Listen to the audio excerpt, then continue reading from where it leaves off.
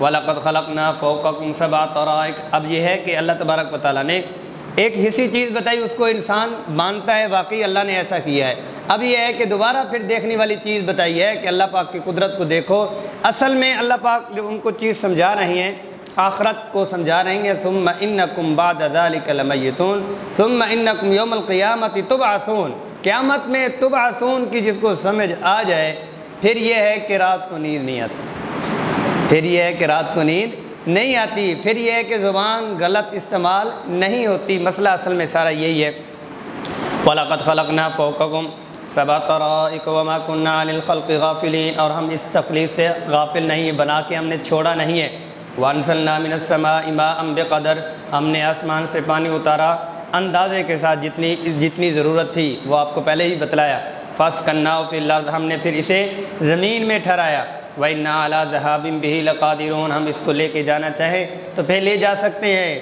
زمین میں سٹوریج کا کیا نظام اللہ پاک نے کیا کہ نکل رہا ہے پانی، نکل رہا ہے، نکل رہا ہے، نکل رہا ہے۔ اور اللہ پاک نے دوسری جگہ اس پہ تشریح کی تھی کہ اللہ پاک اگر ابھی آج آپ کو ایک سال کا پانی آ رہا ہے، سال بعد بارش آئے گی، نہ نیچے ہے نہ اوپر ہے، تو تم ساری ٹیکنالوجی بھی لگا دیتے تو سٹوریج کا کام نہ کر سکتے۔ لیکن اللہ پاک نے بغیر سٹور کے بغیر دیوار کے پہاڑوں کے اوپر کتنا پانی سٹور کر دیا؟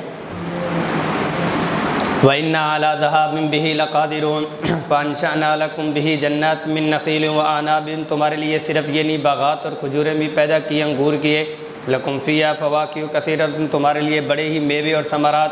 وَمِنْهَا تَأْكُلُونَ، تم ان میں سے کھاتے پیتے بھی ہو۔ وَشَجَرَةً تَخْرُجُ مِن طُورِ سِينَاءَ اور درخت نکلتا ہے طور سینا تنبت بِهِ الدُّهْنُ وَصِبْغًا لِلْآكِلِينَ اس سے تیل بھی نکلتا ہے اور لوگ اس کو کھانے کے لیے بھی استعمال کرتے ہیں، وہ زیتون کا درخت ہے۔ وَشَجَرَةً إِنَّ لَكُمْ فِي الْأَنْعَامِ الْعِبْرَةً تمہارے لیے چوپوں میں بھی بڑی غور و فکر کی بات ہے کہ اس میں تم غور کرو۔ نُسْقِيكُم مِّمَّا فِي بُطُونِهَا جو اس کے پیٹوں میں ہے، ہم اس میں سے تمہیں پلاتے ہیں۔ وَلَكُمْ فِيهَا مَنَافِعُ كَثِيرَةٌ وَمِنْهَا تَأْكُلُونَ اس میں بہت ہی زیادہ نفع والی چیزیں ہیں اور اس میں سے تم کھاتے پیتے بھی ہو۔ وَعَلَيْهَا وَعَلَى الْفُلْكِ تُحْمَلُونَ۔ اور اس پر جانوروں پر اور کشتیوں پر تم لوگ سوار کیے جاتے ہو، اپنے سواروں کو کرتے ہو۔ یہاں سے وہاں پہ جانا ہے، اونٹ کو استعمال کرتے ہو، گھوڑے کو، خچر کو استعمال کرتے ہو۔ اور پھر کیا کہ گائے کو تم اس کے دودھ بھی پیتے ہو اور اسے ذبح بھی کرتے ہو اور اس کا گوشت بھی کھاتے ہو۔